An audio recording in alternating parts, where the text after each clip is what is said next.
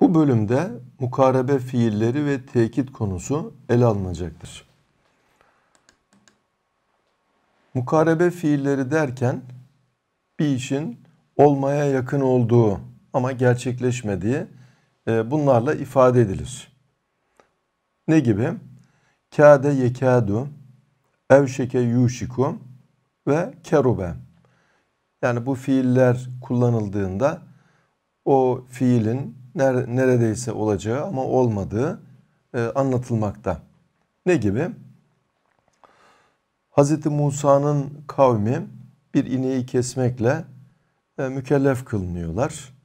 Uzunca bir hikaye ama neticede فَذَّبَحُوهَا Nihayet onu kestiler.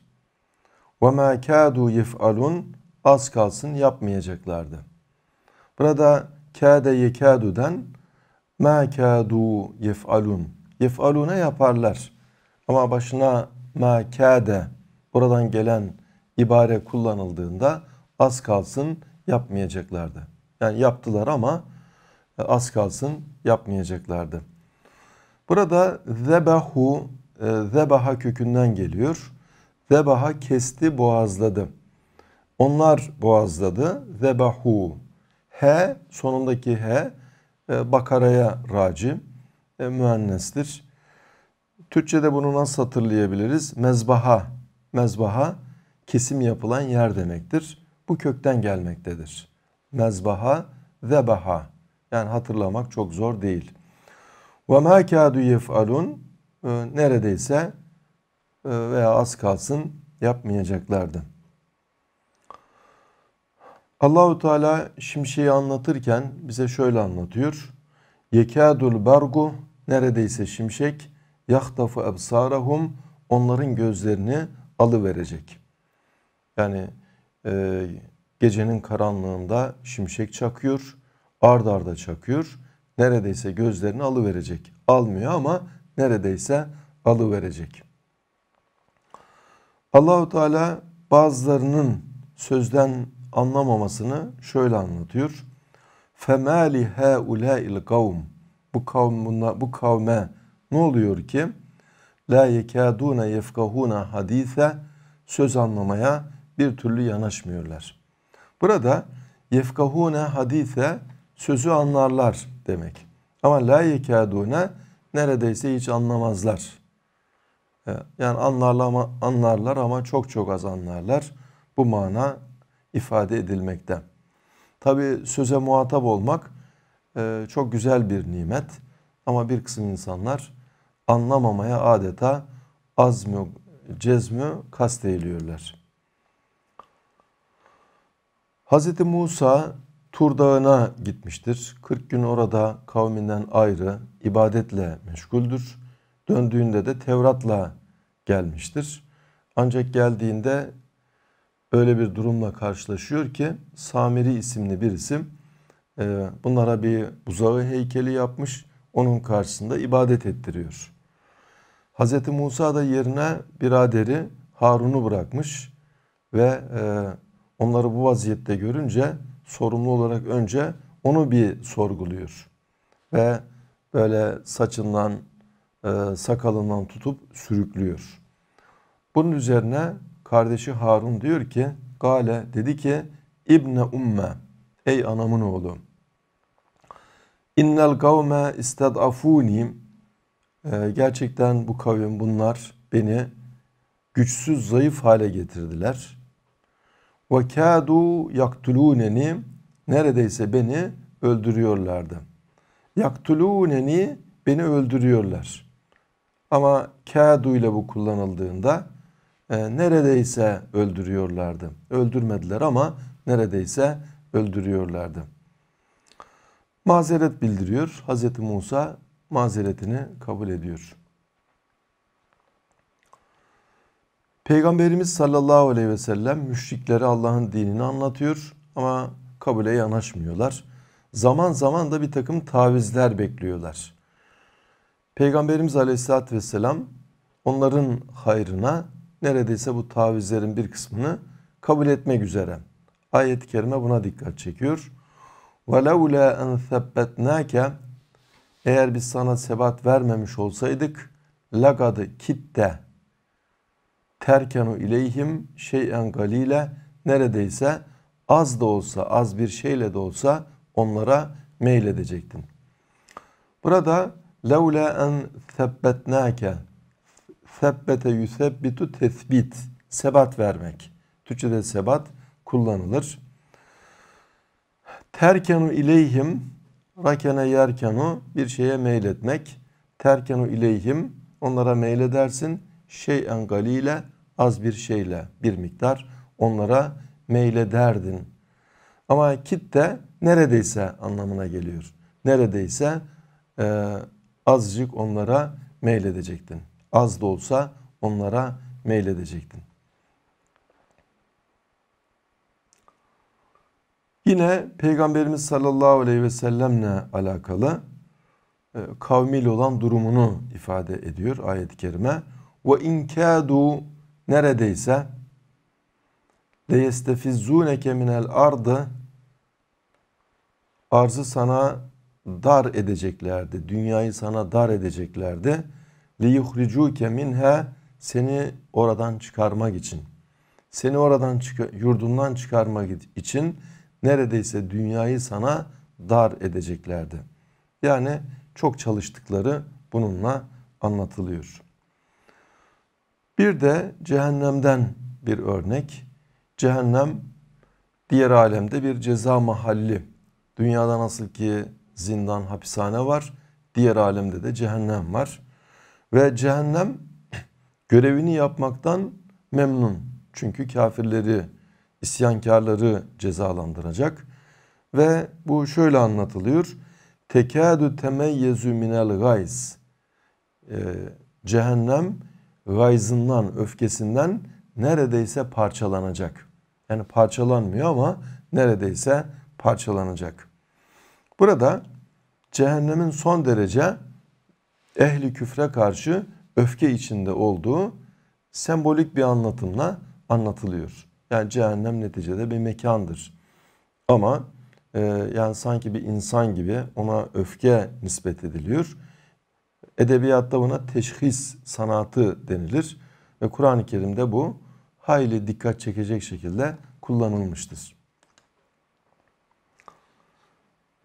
Evet, kâde yekâdu gibi mukarebe fiillerini bu şekilde anlattıktan sonra ase e, edatına geleceğiz. Ase ümit bildiriyor.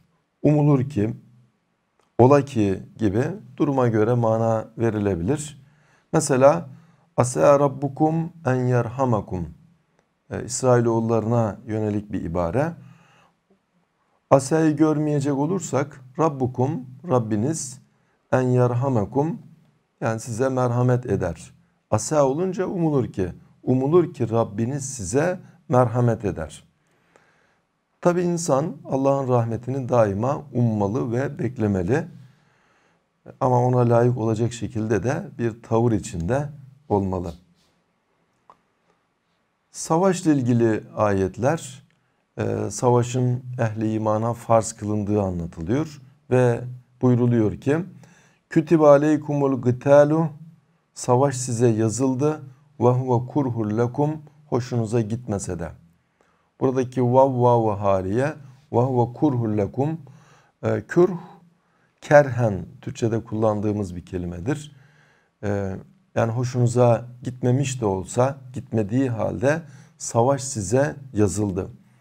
Ve asa en tekrahu şeyen yani olur ki bir şeyden hoşlanmazsınız ve huve hayrul lekum o sizin için hayırlıdır.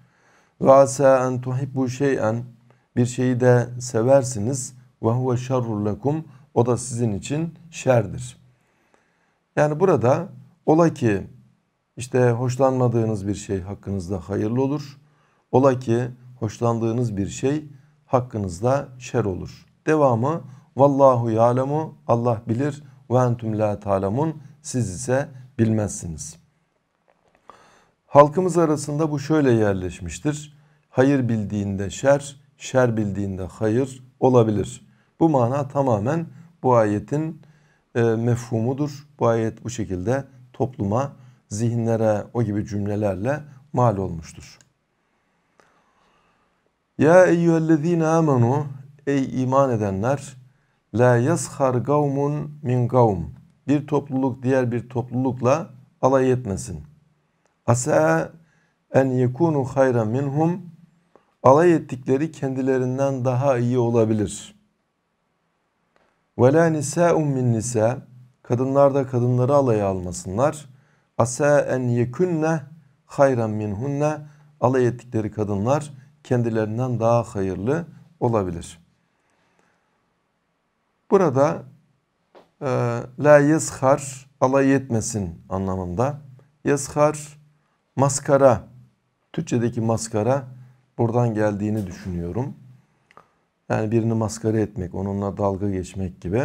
Kavm, kavim, kavimler göçü gibi kitaplarımızda yer alır. Nisa kadın anlamında Nisa suresi var Kur'an-ı Kerim'de. E, diğerleri de hemen hemen bildiğimiz kelimeler. Aile hayatıyla alakalı bir durum. Fe in kerihtumuhunne eğer onlardan, eşlerinizden hoşlanmazsanız fe asa en takrahu şey'en olur ki bir şeyden hoşlanmazsınız ve yec'alullahu fihi hayran kesira Allah onda çok hayır meydana getirir. Yani aile hayatında e, velev tamamen evvelinde birbirlerini tanısalar, birbirlerinden tamamen razı ve memnun da olsalar gün gelir problem yaşayabilirler. Neticede kadın kadındır, erkek erkektir. E, bu, bu durumda bunu boşanmaya doğru götürmek değil de bunu bir fırsata çevirmek. Bu bir imtihandır netice itibariyle. Kadın erkekle erkek kadınla denenmektedir. İşte e, hanımlarınızdan diyor hoşlanmayabilirsiniz. Böyle durumlar olabilir. Ama hoşlanmadığınız durumda Allah nice hayırlar meydana getirebilir. Dereceniz artar, hayatı daha iyi tanırsınız, tecrübe kazanırsınız. Daha neler neler çok şeyler elde edilebilir. Sokrat bu ayete muhatap olmamış ama demiş ki mutlaka evlenin. İyi biriyle evlendiğinizde mutlu olursunuz. Problemli biriyle evlendiğinizde filozof olursunuz. Yani demek ki onun filozof olmasına hanımının belki ters görüşleri yol açmış oluyor. Ve e, onun böyle meydana getirdiği problemler onun çözüm üretmesini sağlıyor ve böylece e, farkına varmadan kocasını geliştirmiş oluyor. Tabi benzeri bir durum e, kadınlar için de söz konusu olur. Yani kocasıyla alakalı sıkıntıları olabilir ama e, evliliği devam ettirdiğinde o da çok tecrübe kazanacaktır ve derecesi çok artabilecektir. Hz. Musa'nın kavmiyle olan bir durumunu anlatan ayet. Galu dediler ki kavmi şöyle dedi. Üzina bize eza edildi. Meçhul sıga.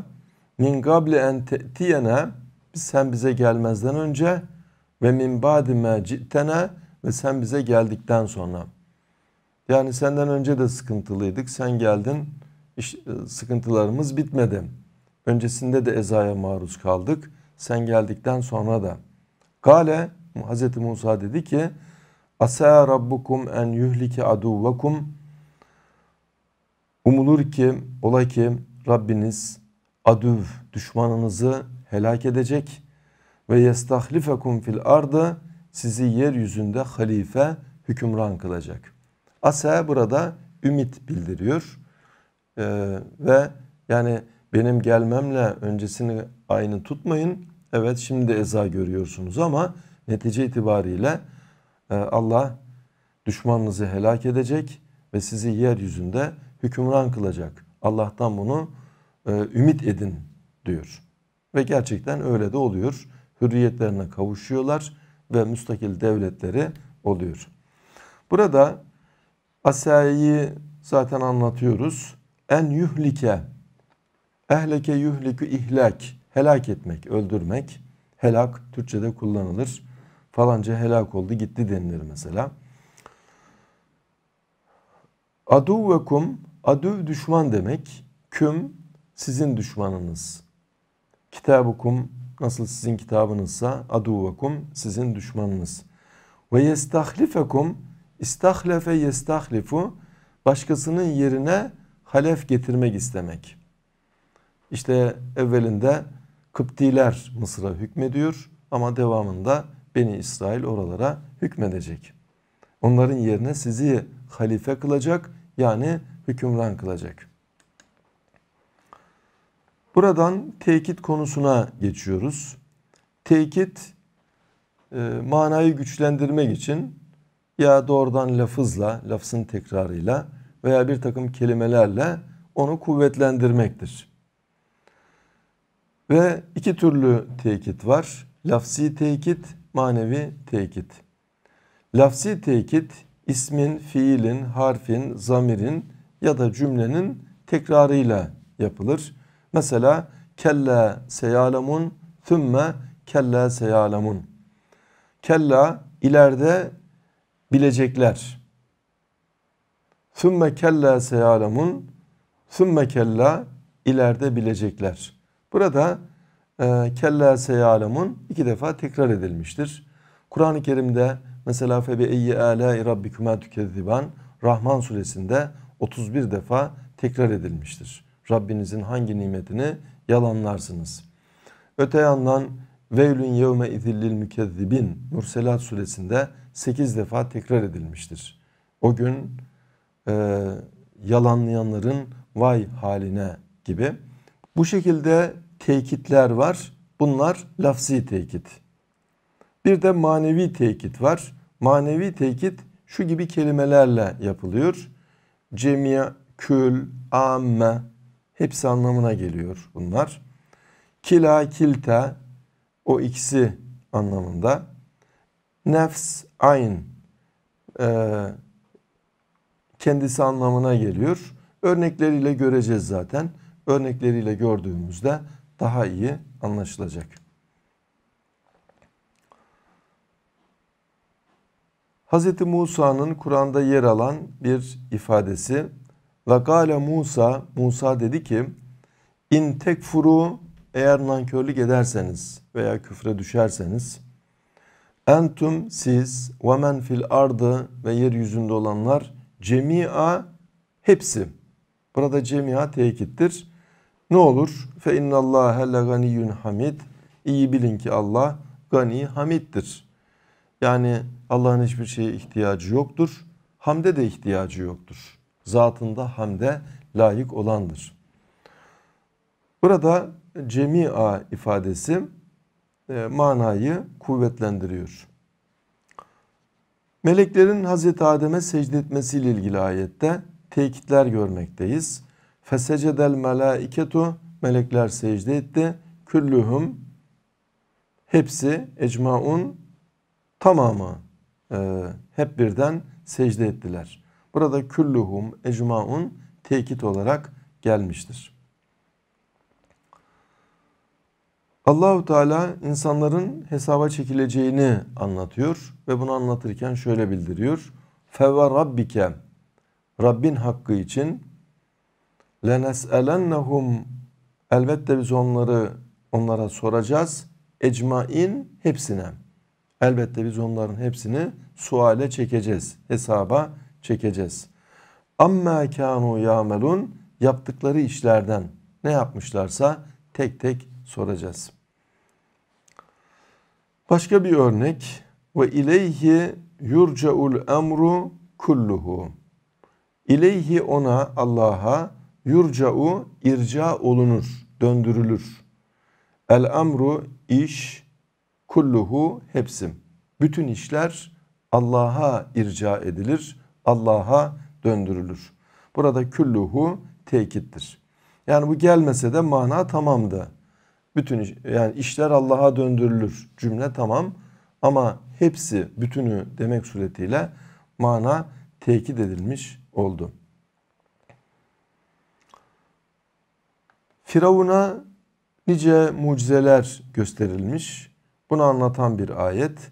وَلَقَدْ اَرَيْنَاهُ Andolsun ki biz ona gösterdik. Ayetine ayetlerimizi küllehe hepsini. Burada Velagat genelde andolsun ki diye meal veriliyor. Erayne Ra'a gördü, era gösterdi. Erayne biz gösterdik, hu ona.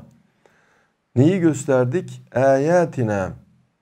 Aye bir ayet, ayet çoğul.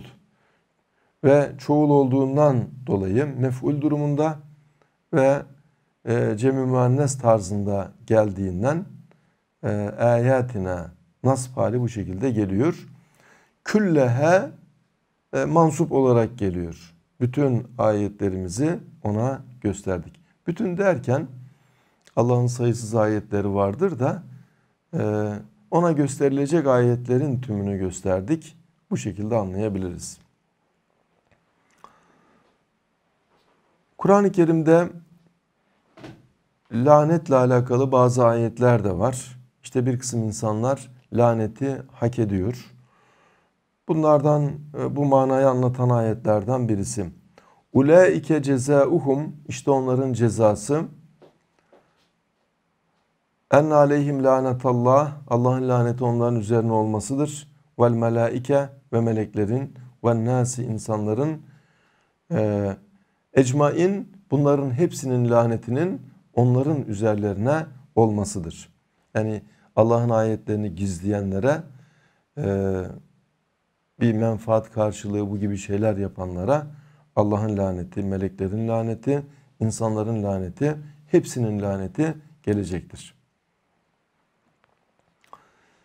İblisle alakalı e, İblis Allah'a isyan edince Allah şöyle diyor. Gale uhruç minha çık oradan. Mez'umen medhura yerilmiş ve kovulmuş olarak lemen tebiake minhum Onlardan kim, insanlardan kim sana uyarsa le emle enne cehenneme elbette ben cehennemi doldururum minküm sizden ecmain hepinizden. Hepinizi cehenneme dolduracağım. Burada ecmain hepinizi, topunuzu manasına geliyor. Hazreti Adem'e e, talimi esma, ilahi Hazreti Adem'e isimlerin öğretilmesi.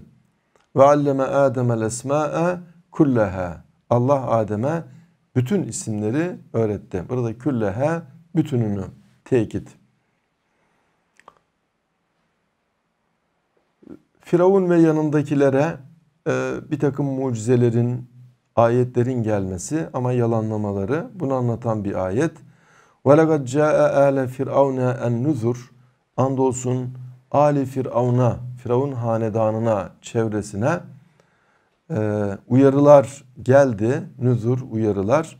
Kezzebu bi ayatina ayetlerimizi yalanladılar. Küllihe hepsini. Ayetlerimizin hepsini yalanladılar. Bu dersimizde efal-i mukarebe ve bir de tekit konusunu ele aldık. E, bunlar Kur'an-ı Kerim'in hemen her tarafına serpiştirilmiş vaziyette bulunmaktadır. Bunların ne olduğu öğrenildiğinde karşımıza çıktıklarında tanımamız çok da zor olmayacaktır.